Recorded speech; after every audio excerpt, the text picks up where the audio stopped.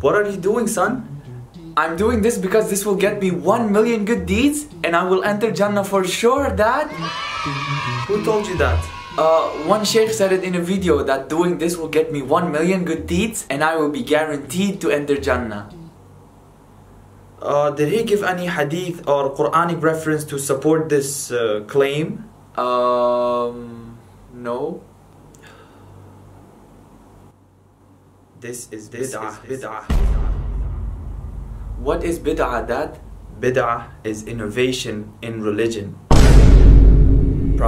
Muhammad said, Whomever Allah guides, no one can lead him astray. Whomever Allah sends astray, no one can guide him. The truest word is the book of Allah, and the best of guidance is the guidance of Muhammad. The most evil matters are those that are newly invented. For every newly invented matter is an innovation. Every innovation is misguidance, and every misguidance is in hellfire.